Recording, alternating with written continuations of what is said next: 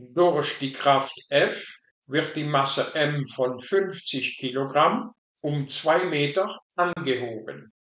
Klein a berechne die Stärke dieser Kraft. Klein b welche Arbeit wurde verrichtet. Die Angaben sind Masse gleich 50 kg und Höhe gleich 2 Meter. Gefragt werden die Stärke der Kraft F in Newton ausgedrückt und die verrichtete Arbeit W in Joule ausgedrückt. Wir wissen, dass bei einer losen Rolle die anzuwendende Kraft F halb so groß ist wie diese Gewichtskraft.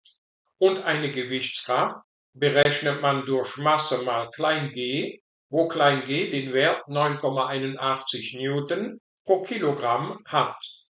Rechnen wir zuerst F, indem wir diese beiden Formeln kombinieren.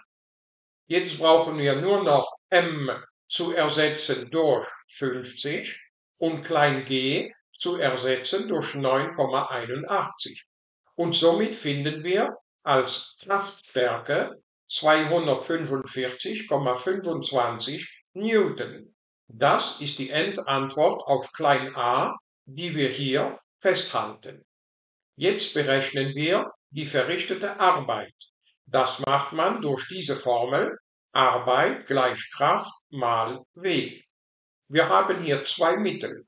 Entweder wir arbeiten mit dieser Gewichtskraft oder wir arbeiten mit dieser Kraft. Für Gewichtskraft gilt, die verrichtete Arbeit gleich Kraft mal W.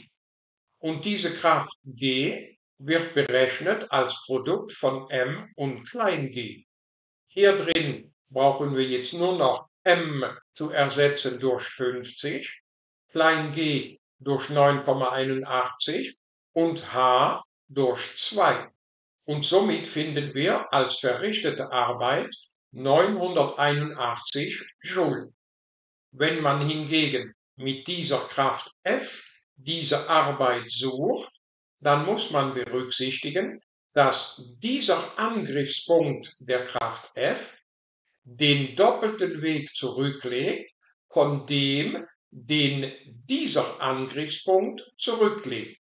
Also dieser Angriffspunkt der Kraft F legt als Weg zweimal diese Höhe zurück. Die so verrichtete Arbeit wird also berechnet durch Kraft mal diesen Weg.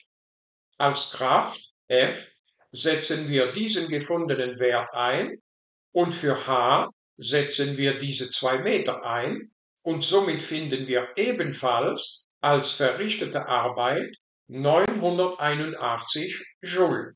Das ist also die Endantwort auf klein b.